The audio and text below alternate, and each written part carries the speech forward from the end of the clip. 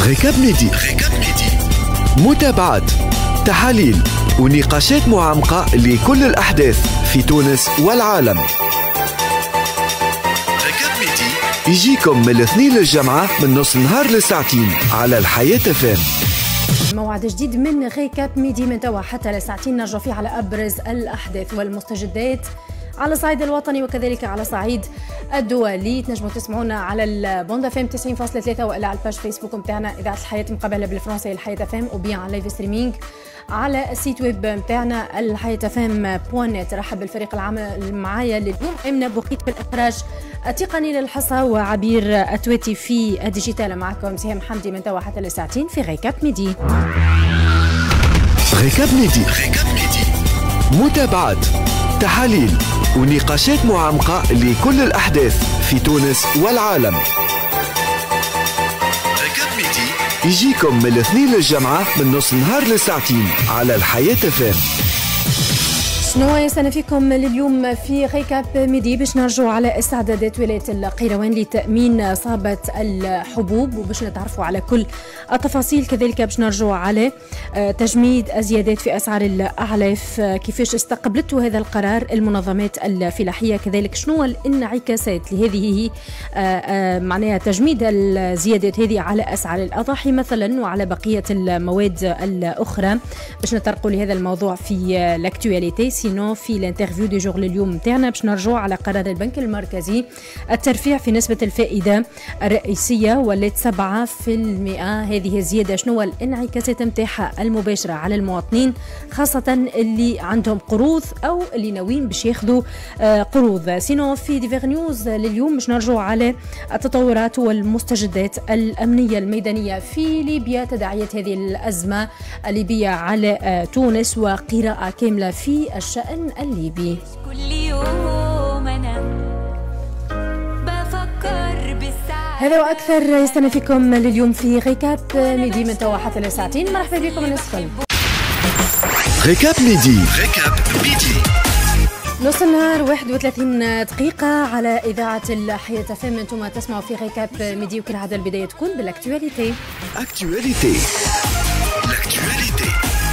في l'actualité لليوم باش نرجعوا على الجلسة اللي صارت البارح في مقر ولاية القيروان بخصوص الاستعدادات لتأمين موسم الحصاد في ولاية القيروان. باش ناخذ فكرة على هذا الموضوع مع السيد مراد بن عمر المندوب الجهوي للفلاحة بالقيروان. سي مراد بن عمر عسلامة مرحبا بك على إذاعة الحياة أف أم مرحبا بك ومرحبا بجميع مستمعين إذاعة حياة أف أم. شكرا جزيلا لك على قبول الدعوة اذا سي مراد بن عمر لو كنت تعطينا فكرة ساعة على توقعاتكم آه، لصبة سنة من الحبوب وآخر الاستعدادات آه، لموسم الحصاد في القيروان.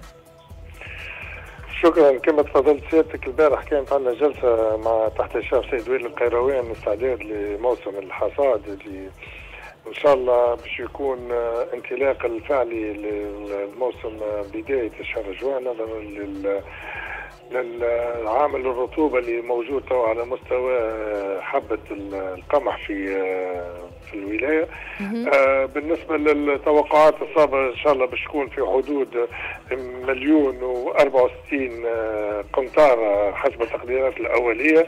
وهذا إن شاء الله متأتي كله ب 95% من من مساحات اللي تم بذرها على المستوى السقوي واللي في حدود 25460 هكتار وهذه الصابة إن شاء الله باش تكون تمثل 65% 95% متأتية من من من المساحة السقوية أه بحكم أنه الظروف اللي مرت بها ولاية قيروان من من العوامل من العوامل المناخية اللي شهدت في بداية الموسم انحباس الأمطار وبعد.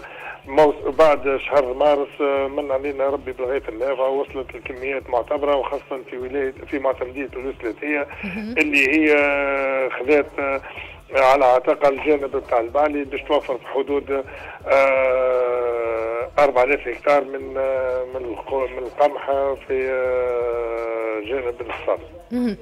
طيب سي مراد مقارنة مثلا بالصابة آه، العام اللي فات آه، كيفاش آه، يعني حسب التوقعات توا زادت ولا تراجعت؟ هو هو هو هو كما كما قلت لسيادتك هو بحكم العوامل الطبيعية المناخيه اللي مرت بها الولاية وبحكم زاد ال ال الإشكاليات اللي قاعدت اللي تعرضت لها تعرض لها موسم الحبوب على المستوى الوطني وحتى على مستوى ولاية القيروان من تزود في مادة الأمونيتر وفي التزود ببعض ال ال البذور خلى المساحة على الأقل على المستوى السقوي تقلصت مع مقارنة مع العام الأول، الناول كنا في حدود 27000 هكتار، أثناء في حدود 25000 و64 هكتار. هذا اللي خلى الصابة تقلصت مقارنة مع الناول حكاية 20 مقارنة مع مناول كانت في حدود مليون 83 اثناء قنطار تو في حدود مليون 64 قنطار. باهي آه، سي مراد هو الحبوب بصفة عامة يعني توا فما شح كبير وأزمة كبيرة على مستوى العالم خاصة بعد الحرب الروسية الأوكرانية. هذاك علاش؟ يهمنا نعرفوا استعدادات ولاية القيروان لتأمين معناها المحصول هذايا وعلى مستوى التجميع والحصاد إلى غير ذلك. شنو آخر الاستعدادات إحنا إحنا إحنا, إحنا من ناحية الاستعدادات كما البارح تم عرض تقريرنا على أنظار اللجنة الجهوية وإحنا استعداداتنا بدأت من شهر أبريل من ناحية آه، حث الفلاحين على تطبيق الحزمة الفنية باش نطوروا ونحسنوا في المردودية على مستوى الضيعة. وإحنا كمعدل عام على مستوى ولاية القيروان عندنا معدل تاع 40 قنطار في الهكتار. هذا نجموا فما بعض الضيعات اللي توصل حتى ل 90 و 95 قنطار في الهكتار. هذا كحزمة فنية باش على الأقل نجموا نوفروا قرابة المليون و 64 هذوما قنطار اللي هي معدل عام تاع الولاية ديما في حدود مليون مليون و100 هذا على امتداد خمسة سنوات. الاستعداد الثاني هو في آه على مستوى آلات الحصاد واللي واللي واللي تم آه عديد الأيام الإعلامية على مستوى الولاية في حث أصحاب آلات الحصاد آه، لتعديل الآلة هذه. اولا للحفاظ على ال على ال كل ما هي بذرة ما باش تحصد وتوصل إن شاء الله لمراكز التجميع. وإضافة على ذلك هو الآلات الحصاد هذوما باش يكونوا عاملين الاحتياطات اللازمه خاصة على آه، من التوقي من الحرائق اللي باش آه، نتفاداو الحرائق هذه من آلات الحصاد. النقطة الثالثة وهي الأساس هو على مستوى مراكز التجميع. إحنا على مستوى الولاية عندنا 11 مركز إن شاء الله باش نخدموا كما عملناه بسبع مراكز وتم إن شاء الله اليوم فما الكمالة بتاعهم وإن شاء الله على مستوى المراكز ما عندناش إشكال في التجميع هذايا. إضافة للمجهود اللي قام به ديوان الحبوب عملناه في, في عملية الإجلاء اللي إحنا إن شاء الله سنة أكدنا البارح مع السيد الوالي أنه عملية الإجلاء باش تكون سريعة وإحنا عملناه في ظرف 8 جويلية تم إسلاك كامل كامل الحبوب على المستوى المساحات غير مغطاة وهذا اللي خلى عملناه ما عندناش إشكال على مستوى الترجميع والإسلاك. آه، طيب نصائح أخيرة سي مراد بن عمر للفلاحين كيفاش ينجموا معناها باش يأمنوا صبا نتاعهم وخاصة يحميوها من الحرائق اللي تنجم تصير معناها. إحنا إحنا البارح آه، كاستعداد على مستوى توخم الحرائق آه، دعينا وزلنا نذكر أن الحماية المدنية مشكورة ساهمت معنا في العملية التحسيسية هذه وعملت آه، بالتعاون مع المصالح المندوبية على حث المزارعين للتوقي من الحرائق هذه. اولا بتركيز على الأقل جرارات وصهاريج متواجده على مستوى مناطق الإنتاج هذه وعلى الأقل لا قدر الله كان فما حريق يسبقوا الفلاحة وأحنا كمندوبية بداية الغابات ولا حماية ندخلوا. ثانيا والاهم من هذا الكل أحنا مع مصالح التجهيز دعينا آه، مع آه، مسح الحواشي بتاع الطرقات والمسالك الفلاحية لتفادي الحشيش الشايح مش هو زاد ندعيه زاد الفلاحة والمواطنين وكذا هذه حكاية ال pointات بتاع الدخان ولا ولا على مستوى المزرعة نحاولوا نعملوا هذاك الكانون وكذا ماذا بينا نتفاداوا إضافة على ذلك فما إمكانية بمساحات كبيرة نعملوا هذيك les tranchées pour minimiser l'impact تاع l'incendie واضح. نشكرك برشا سي مراد بن عمر المندوب الجهوي للفلاحة بالقيروان. شكرا جزيلا لك على مدنا. بكل هذه التفاصيل وإن شاء الله يتم معناها موسم الحصاد اللي باش ينطلق في بداية شهر جوان ويعني يتواصل في ظروف آه، طيبة اللي تأمن معناها المحصول آه، الزراعي المهم في الوقت الحالي. بعد شوية زيدا مانيش باش نبعدوا برشا باش نحكيو على آه، تجميد أسعار الأعلاف وكيفاش باش تنعكس وموقف المنظمة الفلاحية من هذا القرار. récap midi récap midi نص النهار و45 دقيقة على إذاعة الحياة أف أم ما زلنا مواصلين في آخر المستجدات اللي تخص الشأن الفلاحي وبعد قرار تجميد الزيادات المسجلة في أسعار الأعلاف اللي لاقت انتفاضة بين ظفرين من قبل الفلاحين والاتحادات الجهوية للفلاحة.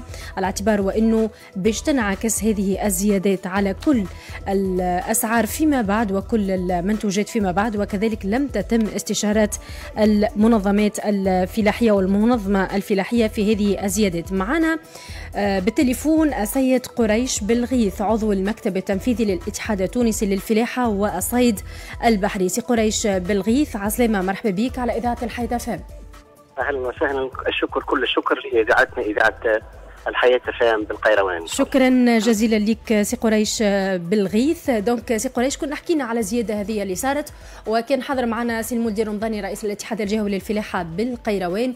وانقل نعم. الغضب نتاع الفلاحين والمنظمة الفلاحية على هذه الزيادات. اليوم وزارة التجارة قررت تجميد هذه الزيادات. في البداية كيفاش قريتوا ولا كيفاش تقبلتوا هذا القرار من وزارة التجارة؟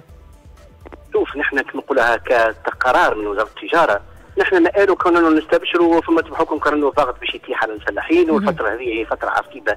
ما بين كما نقولها موسمين نحن نقولوا موسم مازلنا ما دخلناش الموسم اللي فيه الحصاد واللي فيه كما نقولها تلقى بعض الأريحية بحكم كنا المنتوج باش يولي متوفر ولا يعني المواقع نتاع الحصاد هذيك تنجم كما نقولها تسرح فيها يعني الغنام نتاعنا نحن وكل هذه يقع توظيفها لتقليص الضغط على الفلاح ولكن نقولوا كون المعضلة هذه هو هذا ماهوش الحل الأساسي والحل يعني كما نقولها النهائي للمشكلة هذه على خاطر راهي فما قاعدة تتفاقم وفما مزودين وفما سوق عالمية اللي قاعدة ترتفع ولهذا هو قرار نتاع آه، وزارة التجارة. هو قرار ظرفي في انتظار كنا نجلسوا ونعالجوا المسألة بكل فهمت يعني بعمق شنو ما الحلول؟ شنو ما الحلول؟ العالمية توا. فهمت مشتعلة فهمت الأسعار الأسعار ملتهبة. ولهذا ثم هو هذا السوق الحر لتوريد كل هذه المستلزمات ولا يعني المواد الأساسية للأعلاف. الأعلاف المركبة. راهي هذه تصير عن طريق ناس كما نقولوا خواص يعني شركات كبيرة مم. اللي عندها اسمها وعندها كما نقولوا سمعتها. ولهذا تو نحن نخافوا تولي فما تلاعب بالتركيبات نخافوا كان أنه زاد كيف كيف يقع فما العزوف على بيع المنتوج بحكم كأنه هو زاد كيف كيف. صاحب المصنع يقول لك أنا اذا باش نخسر ما عادش باش نقوم بتوفير المنتوج هذايا يعني البضاعة هذه في السوق. وهذا هو اللي يخوف. نحن الفترة هذه هي فترة كما نقولها انتقالية قلنا ممكن الضغط قاعد يقل تو بحكم يكون الحصاد موسم الحصاد ومتواجد الأعلاف وتواجد يعني معناها نقولوا الشعير معناها اللي نجم يكون علفة نقولها وإلا بعض التبن ولا القرد ولكن راهو ماهوش حل نهائي وهذا يلزم نراجعوه بحكم كانه راهو فما قطاعات أخرى الدجاج الأبيض والابيض يعني فما الدجاج الأبيض والبيض هذوما زوج قطاعات اللي هما راهو توا لا ينبئوا بخير وراهو فما يتهددنا خوف كبير بحكم كورونا إذا منظومة انهارت فهمت راهو أكبر خوف كون أنك أنت ظالم مأسس. عندك 60 سنة فهمت منظومة نتاع إنتاج وإذا تنهار هذه المنظومة تختل كل حلقاتها. هو هذايا نخوف كل الخوف من الوصول لهذه النتيجة. به شنو ما الحلول اللازمة؟ ما تكونش حلول ترقيعية سي قريش تكون حلول جذرية اليوم أمام الحكومة ودور المنظمة المنظمة الفلاحية في إقرار هل آه، ربما قرارات وإلا خطط وإلا استراتيجية نحن للحد نحن معناها من التدهور. شوف نحن العديد من المرات كيظل فما أذان صاغية. وبعض الأطراف اللي تفهمك وبعض الأطراف اللي تعترف تعترف بقانون القطاع الفلاحي هو للقناع تو قانون القطاع استراتيجي لابد الاهتمام به. وضخ كما نقولها اعتمادات كبيرة لتطوير والخروج من الحلقات نتاع يعني دائما الارتهان للآخر يعني الغرب وتوريد المنتوجات الأساسية نتاعنا نحن من الخارج. هذا كان في إطار خطط لكن هي الخطط هذه تو طويلة المدى ولكن نحن إذا فما خطة نعرضوها على الحكومة الحكومة كون أنه ثم الدعم نتاع هذه المستلزمات.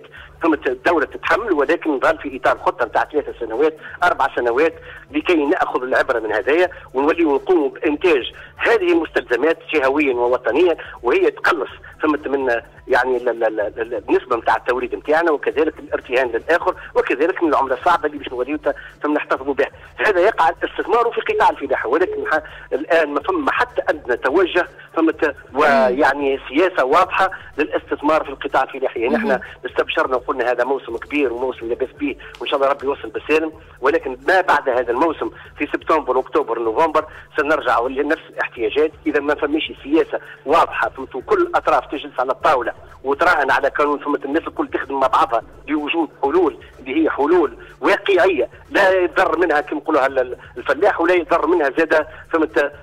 صاحب المصنع كما نقولوا أصحاب المصانع نتاع الاعلاف هذه هذا كله راهو ما يصيرش كما نقولوا على انفراد من وزارة التجارة، وزارة التجارة في الفترة الأخيرة تنفرد كما نقولوا بقراراتها وتصدر كما نقولوا يوم قرار وغدوة يليه، نحن بالنسبة لنا نحن هذا اليد المرتعشة. الايدي المرتعشة في اتخاذ قرارات جريئة وقوية فهمت؟ هذا يرتهن لكون أنه تكون فما وزارة قوية. تستند على الفلاح ويقتل هي تستند علينا. في سياسة واضحة. هي وزارة الفلاحة نحن نكونوا داعمين لها ونكونوا واقفين بجنبها. ونحققوا كل ما هو في منوط في عهدتنا في المستقبل القطاع الفلاحي. ونحن نقولوا راهو القطاع الفلاحي بالنسبة لإفريقيا كلها. راهو القطاع الفلاحي في تونس. راهو قطاع متطور متطور جدا. ولكن مع الأسف يلاقى كان الأيدي المرتعشة في الحكومات الكل التي تعاقبت الإرادة على هذه نعم. الإرادة والقرار معناها لازم هو اللي ينقص. هذا يمكن سي قريش بالغيث اللي بالطبع يفسر الإرادة والقرار والشجاعه الشجاعة. ما فماش شجاعة. يعني إنسان كي باش يجي يخو ثم توا مديرين عامين وإلا كما نقولها وزيرة ولا وزير. مم. ليست لهم الجرأة لأخذ قرار في سياسة اللي هي تعتمد الواحد كما نقولوا بالدارجه نحن يقدم على لسانه. ما فما حتى حد. نحن مستعدين باش كونوا نحن كنا نضحيو ولكن كون نظل عندنا رؤية واضحة فهمت؟ باش نوصلوا للهدف اللي هو يحقق مآرب الناس الكل. كل المتدخلين الحلقات الكل بدون استثناء. اما لكن كيف تجي تضرب حلقة من الحلقات واللي هي أساسية وكل الناس قاعدة تورد وتجيب بالخسارة وتبيع بالخسارة. نحن نقول لك راهو هذايا ممكن راهو مش الديمومة نتاعو سوف لن تكون هناك ديمومة وسيندثر هذا القطاع. وقتك نقولوها راهو قطاع الدجاج وأهميته راهو قطاع كبير ياسر والألبان. ولكن مع الأسف أنا باش نحكي لك سي قريش على الألبان آه، اللي رغم آه، تراجع معناها على تسعيرة الأعلاف وزيادات نتاع الأعلاف عفوا نلقاو نعم. منتجي الألبان. آه، صحيح رحبوا بهذا القرار ولكن يقول لك ماهوش الحل وما زالوا إلى حد الآن يطالبوا بمراجعة أسعار الحليب والألبان مثلا في قطاع الدواجن زاد علاش؟ على خاطر التركيبات تبدلت تو على خاطر يعرفوا اللي تركيبات الأعلاف تو تبدلت على خاطر أصحاب المصانع ما عندهمش حتى حل آخر أما يخدم بالفلس وإلا يبدل التركيبة لتقليص كما نقول لهم الكلفة.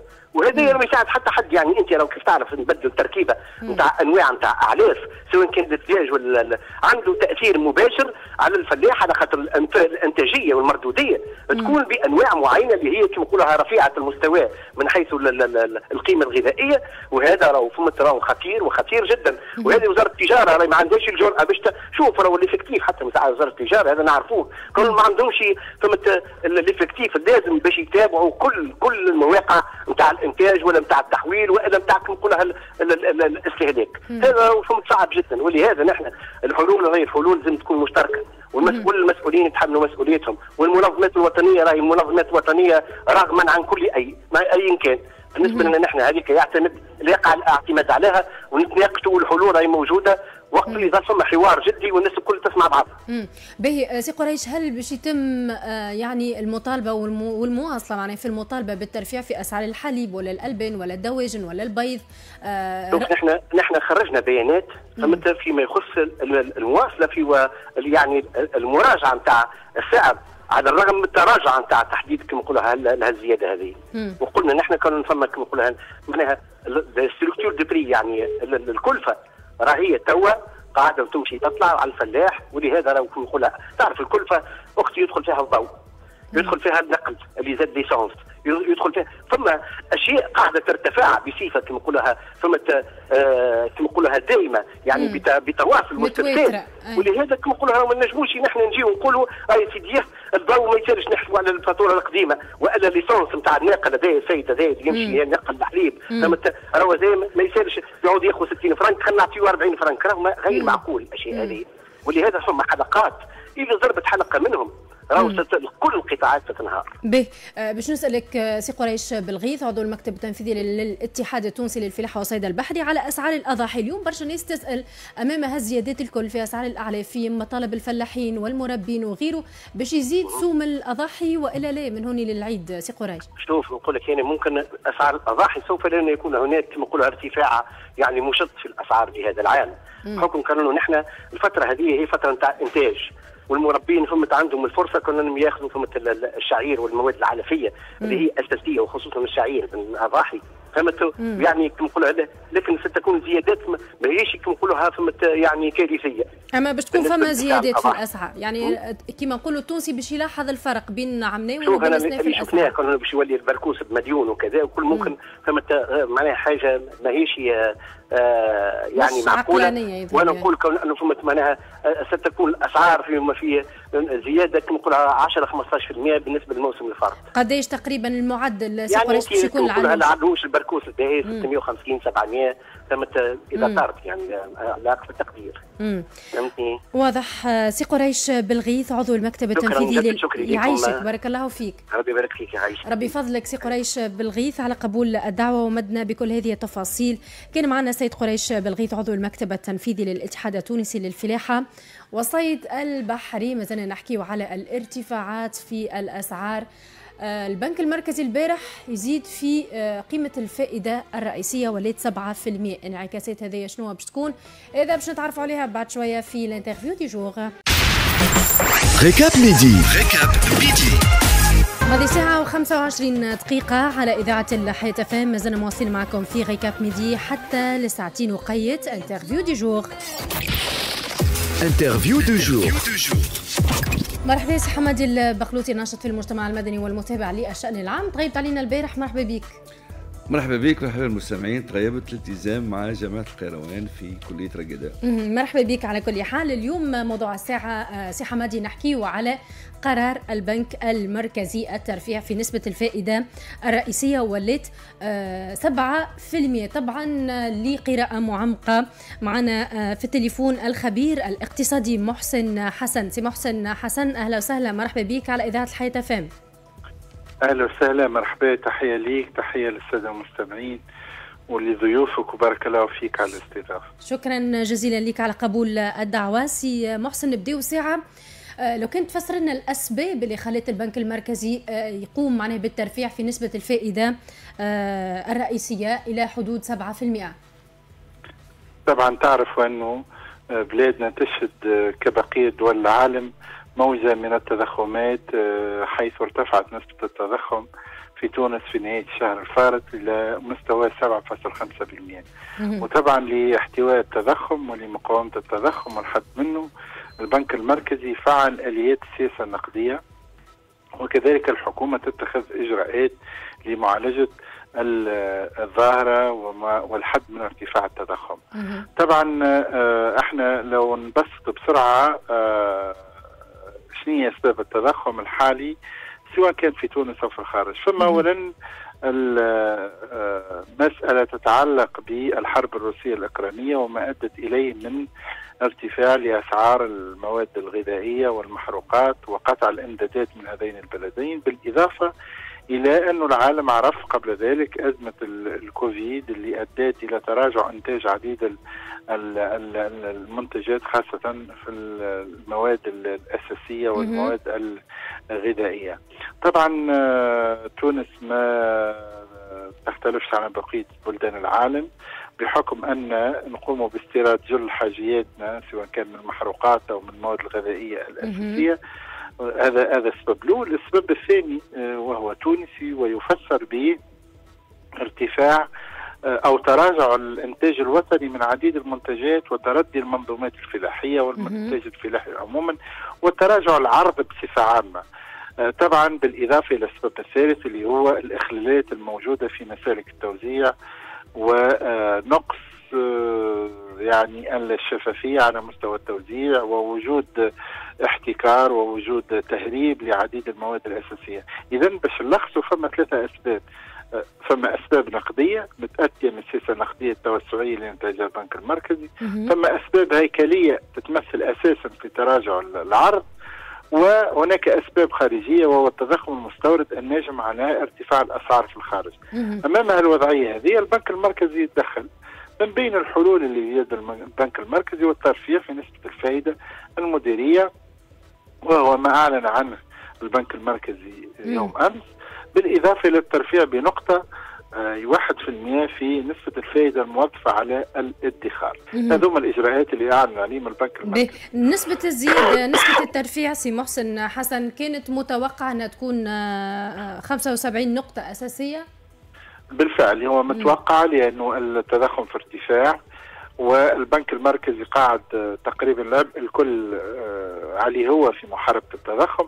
المفروض أن يكون في تنسيق بين الحكومة والبنك المركزي لكن أعتقد أن الحكومة يعني ما هيش مفلحة في محاربة التضخم.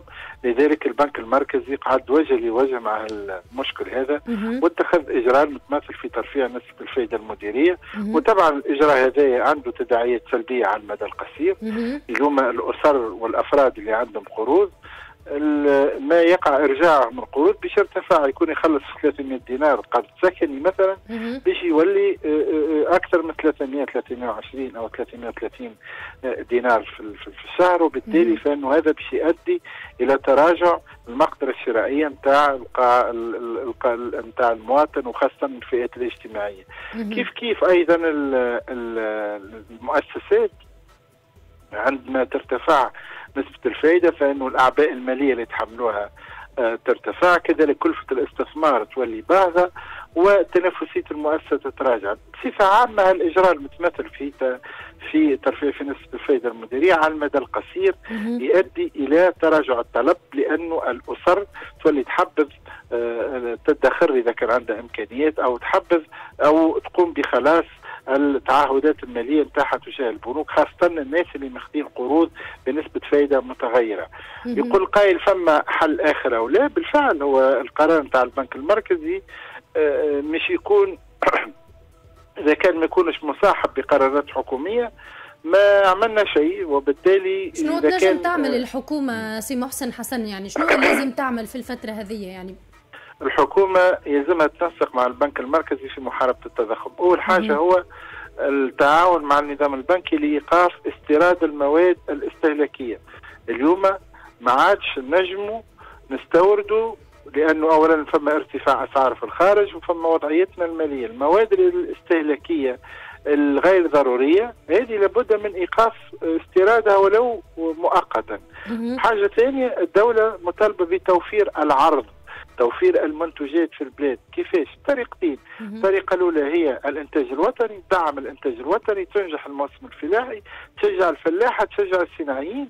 والحاجة الثانية توفر الإمكانيات المالية للمؤسسات الوطنية المكلفة بالشراءات كما ديوان الحبوب ديوان الزيت أو غيره من المؤسسات العمومية. وهذا توفر العرض فإنه طبعا يتقلص الأسعار. حاجة ثالثه تنجم تقوم بها الحكومة اللي هي المراقبة الاقتصادية ومقاومة الاحتكار وتأهيل مسالك التوزيع ومقاومة التهريب. هل الأعمال هذه من شأنها؟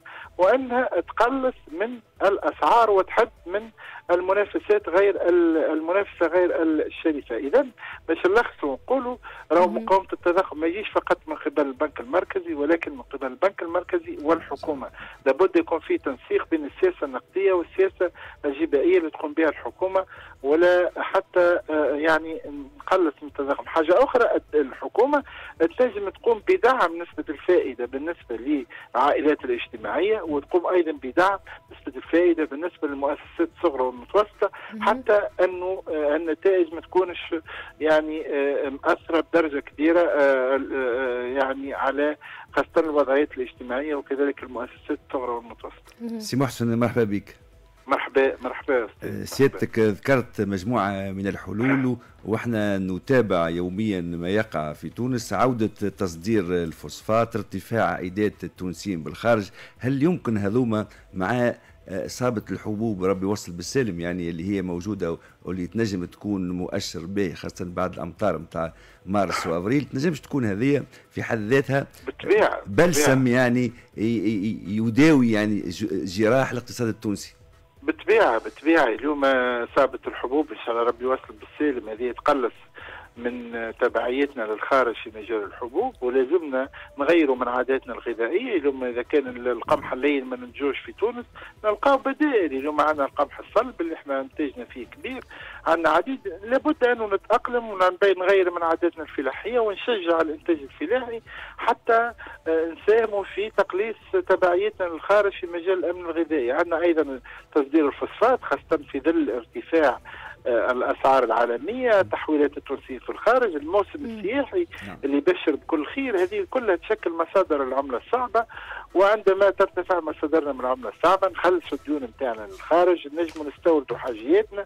وحاجة أخرى ينجم البنك المركزي يتدخل في سوق الصرف ويعارض الدينار ما يخليش الدينار يهبط إلى مستويات لربما تزيد تعمق الوضع الاقتصادي وتعمق الأزمة الاقتصادية. ثم بوادر خير ولكن في اعتقادي مجال الكثير لابد من القيام به. أنا تمنيت لو أنه اليوم نعتني بالشأن الاقتصادي والمالي العناية القصوى لأنه اليوم وضعنا الاقتصادي والمالي خاصة في ظل الظرف الدولي الصعيب وضع الحقيقة آه، أقل ما يقال عنه أنه آه، خطير وخطير جدا. سي محسن باش آه، نسألك على توقعاتك. هل نجموا نتوقع أنه مثلا البنك المركزي باش يزيد يرفع في نسبة الفائدة مرة أخرى تفوت 7% شوف إذا كان الحكومة ما تعمل حد شيء ونتوقع انه تصرف الحكومة باش يكون بصراحة لن لن ننتظر إجراءات آه، يعني مهمة من قبل الحكومة لمحاربة التضخم.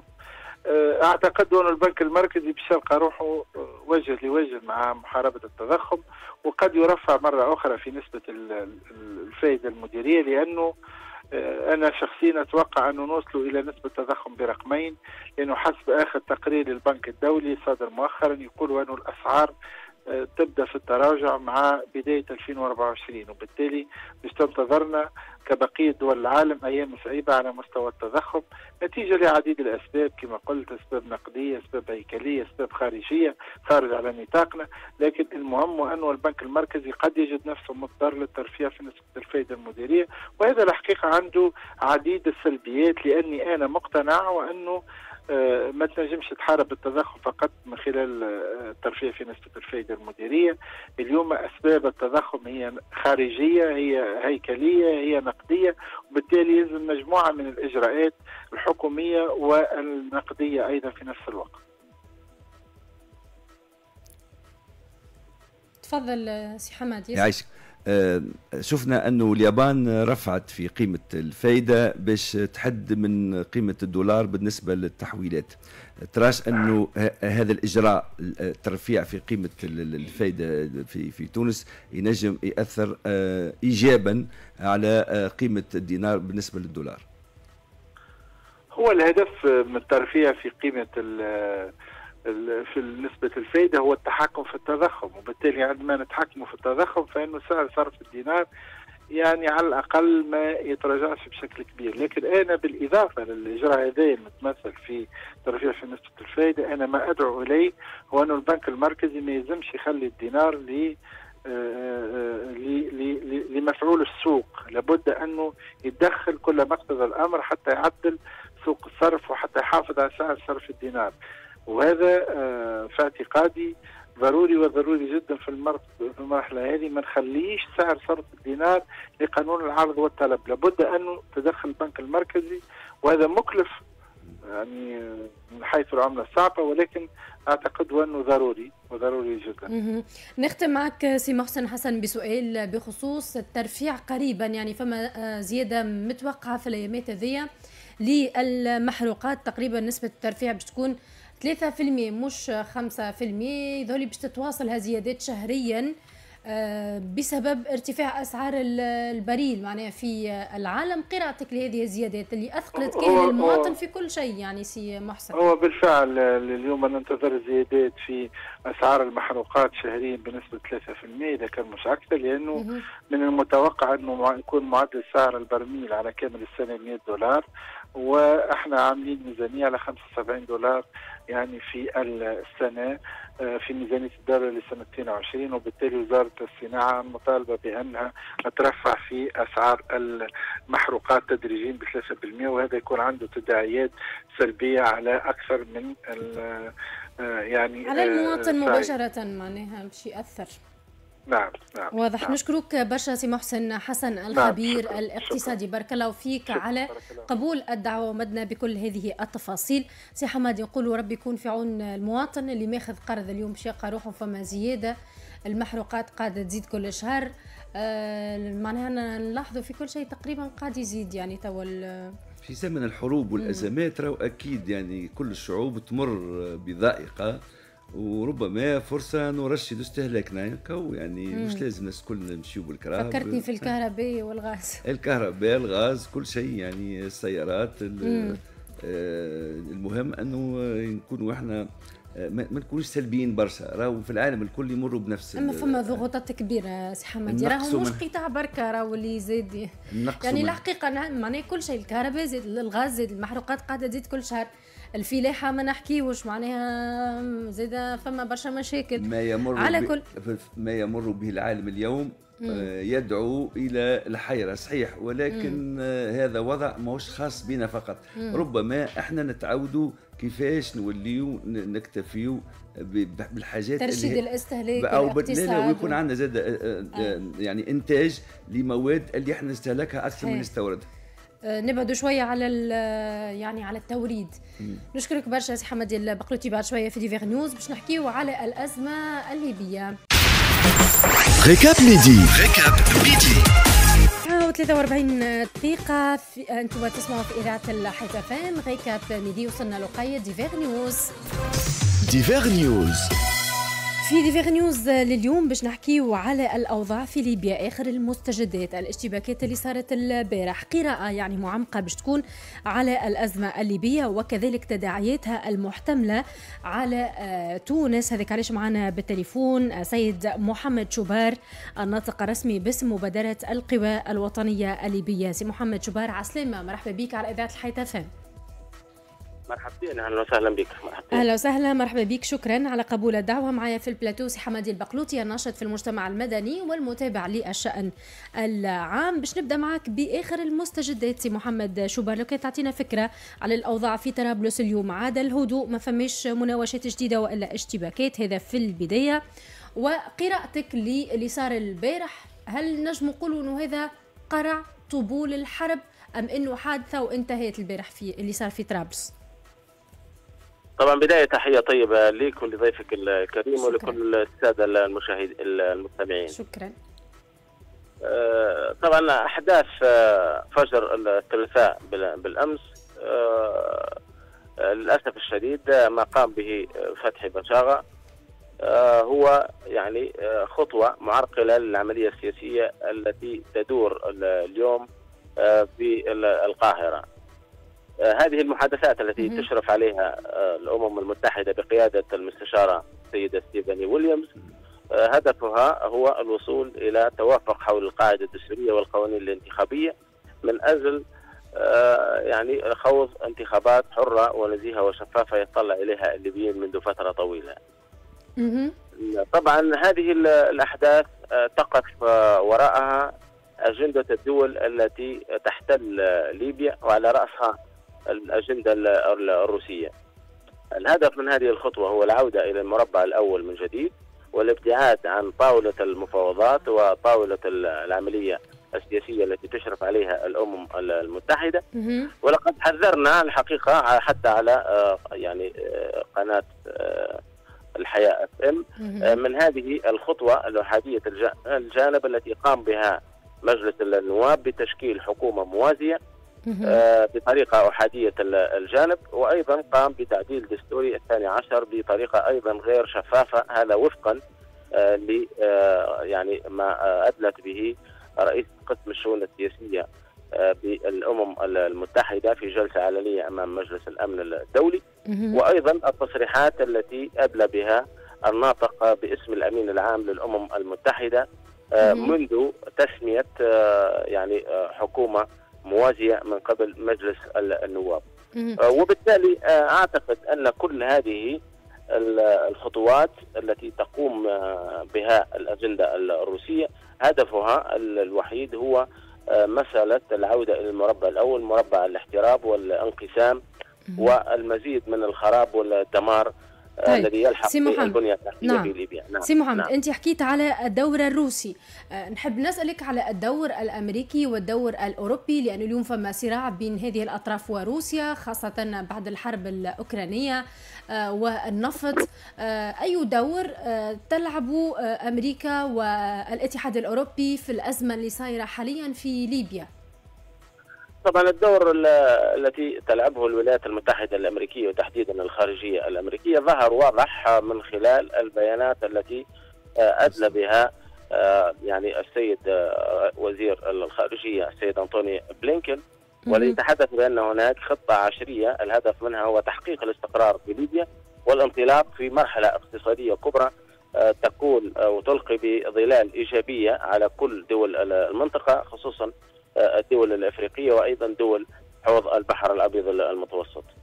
وبالتالي الدور الأمريكي ودور أيضا الاتحاد الأوروبي حقيقة يتسم بإيجابية واضحة وكبيرة جدا خصوصا فيما يتعلق بدعم دعم المسار الذي تقوم به الأمم المتحدة في مسألة يعني سواء كان ديمومة وقف إطلاق النار أو يعني الانتخابات. تدفق استمرار تدفق الصادرات النفطية. وأيضا الدعم الواضح لمبادرة السيدة ستيفاني ويليامز فيما يتعلق بالعودة إلى صندوق الاقتراع من جديد الذي أصبح اليوم مطلب شعبي بعد تسجيل 2.8 مليون ليبي للذهاب إلى صناديق الاقتراع من جديد. طيب. ولاختيار ممثليهم بطريقة ديمقراطية بعيدا عن مسألة استخدام القوة واستخدام العنف للوصول إلى السلطة. طيب نعم. سي محمد جبار هل من الممكن اليوم الحديث على إمكانية إجراء انتخابات في ليبيا؟ نعم هذا هو الحل.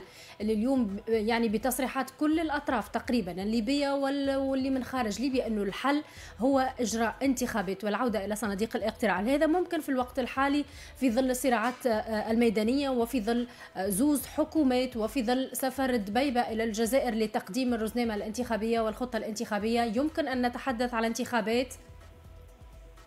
طبعا فيما يتعلق بنشوب يعني المواجهات. فجر يوم الثلاثاء أصدرت مبادرة القوى الوطنية الليبية بيان وطالبنا الحقيقة في المجتمع الدولي بفرض عقوبات ضد كل من نظم وضد كل من شارك ودبر لهذه المواجهات المسلحة. هذا أعتقد أنه هو أقل واجب يمكن أن يقدمه المجتمع الدولي للليبيين أعتقد أن ترويع الآمنين وقتل الأبرياء وقتل الأطفال هي جريمة كبرى جريمة ضد الإنسانية. مسألة خوض انتخابات حرة ونزيهة وشفافة هذه تحتاج إلى أمرين، الأمر الأول قاعدة دستورية وقوانين انتخابية وأيضا حكومة قوية لها القدرة على فرض الأمن والإشراف على هذه العملية بطريقة شفافة، طريقة تعبر بالفعل عن إرادة الليبيين. اليوم أمامنا يعني حكومة الوحدة الوطنية غايتها نهاية يونيو القادم. وفقا لمخرجات ملتقى الحوار السياسي وأيضا قرار مجلس الأمن الدولي 25 70 الذي تم سنه تحت طائلة الفصل السابع. وبالتالي أعتقد أن الآن الظروف مواتية لمسألة التوافق على قاعدة دستورية وقوانين انتخابية. وأيضا نحن على أبواب بالفعل أن تكون هناك حكومة جديدة بعيدة عن كل هذه الوجوه التي نراها اليوم في الطبقة السياسية. حكومة جديدة تعمل على فرض الأمن وأيضا للتمهيد لانتخابات حرة ونزيهة وشفافة قد تكون يعني في نهاية هذه السنة أو من الممكن أن تكون في بداية السنة القادمة نعم. سي محمد شوبار مرحبا بك نعم أهلا وسهلا بك مرحبا. آه، ذكرت سيادتك نهاية شهر آه، جوان اللي هو تاريخ مفصلي في في في تاريخ ليبيا أنه يمكن يكون حدث آه، يتحول من بعده أنه نجم ندخلوا في في انتخابات. تراش أنه ربما في الصيفه هذه نراو انتخابات في في ليبيا خاصة تراجع رئيس الحكومة هذا علي باشا بسرعة فتحي باشا. فتحي باشا اغا بسرعة. يعني مؤشر أنه ثم إمكانية أنه آه، ما ثماش آه، آه، رغبة في الذهاب إلى الاقتتال يعني. طبعا يعني مسألة الحكومة التي تم تشكيلها من قبل مجلس النواب تحدثنا عليها بأنها خطوة لا ينظر إليها المجتمع الدولي لا من قريب ولا من بعيد لأنها خطوة وحيده الجانب. وهي عملية غير شفافة عملية لم تتوافق عليها الأطراف السياسية. وأعتقد أن العمود الفقري لمخرجات ملتقى الحوار السياسي الليبي هو مبدأ التوافق. مبدأ التوافق لم يتم في تشكيل هذه الحكومة. الحكومة الجديدة ستكون بعيدة كل البعد عن فتحي بشاغة وأيضا عن عبد الحميد البيبة الحكومة الجديدة ستشهد آه، وجوه جديدة. لم يعني آه، تشارك خلال المراحل الماضية آه، في أي عملية سياسية. هذا جانب. وأيضا من جانب آخر هذه الحكومة ستكون حكومة قوية. لها القدرة على التجهيز وتهيئة ظروف جيدة للذهاب والعودة إلى صناديق الاقتراع من جديد. وأيضا لها القدرة على مساله تنفيذ قرارات مجلس الأمن الدولي آه، طبعا بمساعدة من المجتمع الدولي بخروج كامل للمرتزقة والمقاتلين الأجانب وجمع السلاح واسترداد الأموال المسروقة والمنهوبة حتى بالفعل لا يستخدم السلاح والمال الذي تم سرقته من آه، من أموال الدولة في آه، يعني شراء ذمم الناخبين حتى بالفعل يعني لا تكون هذه العملية العملية الانتخابية بالفعل أن تكون آه، تعبر بالفعل عن إرادة الناخبين لا تعبر لا عن يعني آه، عن قوة السلاح ولا عن آه، ولا تعبر عن قوة نعم. المال نعم. المسروق الذي تم سرقته ونهبة من المال العام طيب نعم. سي محمد ما موقف الشعب الليبي؟ هل هناك انقسام لدى الشعب الليبي اليوم في توجهات مثلا في هناك من يدعم بشاغة وهناك من يدعم دبيبة أم أنه كلهم متفقين على ضرورة الخروج من الأزمة الراهنة؟ الشعب الليبي ما يهمه اليوم آه، هو أن يجد قوت يومه. هو أن آه، يعني يشعر بالأمن. وهذا يعني هذه الرغبة موجودة في شرق ليبيا وفي غرب ليبيا وفي في جنوبها. الليبيين اليوم يعانون آه، أشد المعاناة من الضنك المعيشي وارتفاع الأسعار وأيضا آه، من تردي الحالة الأمنية. آه، أعتقد أن من يقفون وراء سواء كان فتحي بشاغة أو عبد الحميد الدبيبة هم المستفيدين من بقاء هذه ال هذه ال الوجوه في, في الطبقة السياسية. وأعتقد أن صحيح أن هناك تحديات لا زالت هذه التحديات قائمة إلى حد اليوم. التحدي الأول يتعلق برغبة الطبقة السياسية في البقاء في السلطة. و أيضا آه، لا ننسى التحدي الآخر وهو الأهم هو آه، يعني آه، رغبة خصوصا الدول التي لديها قوات أجنبية على التراب الليبي رغبتها في بقاء هذه القوات. ولكن أعتقد أن المجتمع الدولي وجديته في مسألة تحقيق الاستقرار في ليبيا أصبحت يعني واضحة بشكل كبير جدا. الضغط واضح على الطبقة السياسية وأيضا على كل الدول التي تدخلت بشكل سلبي في الملف الليبي. وعلى رأس طبعا ما تقوم به الخارجية الأمريكية آه، في دعمها الحثيث لمسألة تحقيق الاستقرار آه، في ليبيا آه، لأسباب عدة. وأعتقد أن أيضا هناك توجهات من دول الاتحاد الأوروبي في مسألة تحقيق الاستقرار في ليبيا. يرجع هذا لعاملين. العامل الأول وهو عامل اقتصادي خصوصا يعني مسألة الطلب الملح اليوم على آه، الطاقة نعم. باعتبار أن ليبيا أحد الدول المهمة المنتجة للنفط والغاز. وأيضا العامل الآخر هو عامل أمني يتعلق بمسألة تحقيق الأمن في في ليبيا باعتبار أنها أصبحت بؤرة توتر تستخدمها كثير من الدول لتجنيد مجموعات مسلحة خصوصا ما تقوم به روسيا اليوم بنقل كثير من المجموعات المسلحة لدول أفريقية والتي حدثت فيها الحقيقة كثير من الانقلابات ويعني نشر نعم. الفوضى طيب في كثير من الدول الأفريقية. نعم, نعم. سي محمد سؤال أخير ونظرا لضيق الوقت رجاء جاوبني بإيجاز. طبعا كي نحكيو على ليبيا نحكيو أيضا على ارتباط مباشر بتونس. أمن واستقرار ليبيا هو من أمن واستقرار تونس وطبعا كل الأوضاع اللي موجودة في ليبيا لها تداعيات أمنية اقتصادية وسياسية على تونس. ما هو دور تونس اللي تنجم تلعب تونس اليوم للتخفيف من حدة الأزمة أو ربما لتجاوز الأزمة الراهنة في ليبيا؟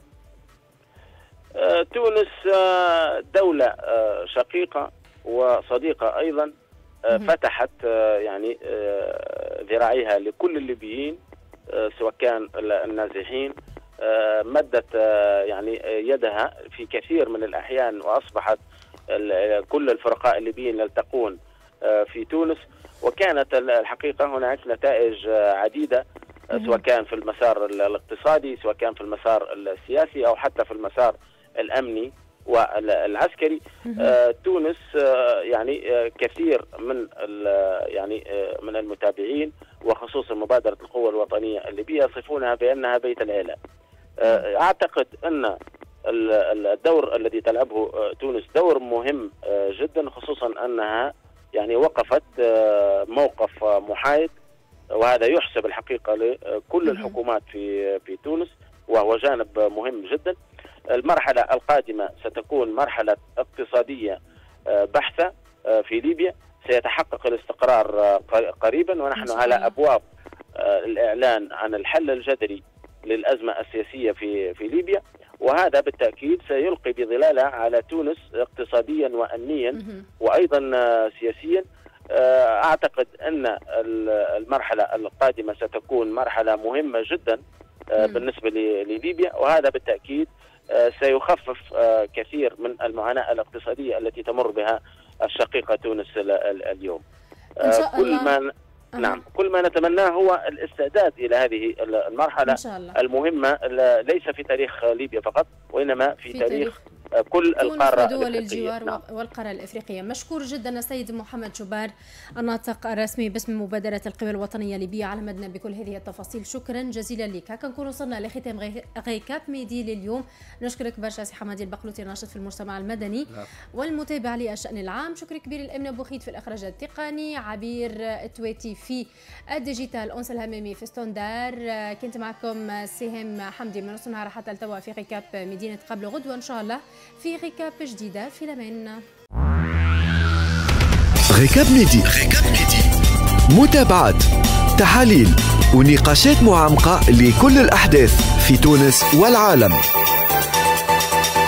Récap midi يجيكم من الاثنين للجمعة من نص النهار لساعتين على الحياة FM